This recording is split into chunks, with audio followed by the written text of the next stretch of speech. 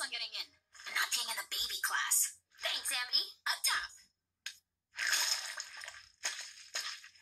Wow. My first day at Hexside. A chance to discover my true magical potential and maybe meet a hot yet vulnerable upperclassman. Dream on! King? Boop! Why are you in my bag? You're a free ride to the best buffet in town. Yeah. The trash cans here are filled with half-eaten gold. Okay, but if anyone asks, you don't know me. Have a wonderful school day, person I don't know. I really needed to hear that. Luz! Hello, fellow Hexolios. Hello, classmate. You did it, Luz. Sorry, I was uh, covering all my bases. So, do you know who those witches are? Those are the heads of the main nine covens. Each one excelled at a magic school like Glandus, St. Epiderm, and of course, Hexside. Are you prepared to enter these hallowed halls? Hmm, that's what I'm gonna figure out right now. See you on the other side, friends. See you later, Luz. You know what? I'm, I'm gonna just get rid of these. A terrible development at Glandus High School. Students and teachers were found unconscious and without magic. The cause remains unknown. Ha! Take that, Glandus. Looks like this year's Grudgby match is going to be a forfeit. Hiya, Princey B. Can I call you that? Absolutely not.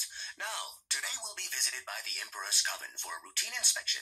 If we want to impress them, you'll need to join a coven track before they arrive. Actually, Principal Bump, I've made my own schedule. First, vet care for mythical beasts, then healing and dealing, and then after lunch. Studying multiple tracks at once? No one does that. Then I'll be the first. No, you won't. According to the rules, a good witch needs to hocus focus. You can only pick one of the nine tracks. And you do not want to embarrass me in front of the inspector. But all the tracks are so cool. Is there some sort of enchanted article of clothing that could sort this out for me? Well, there used to be, but. Oh, I'm so excited! And now I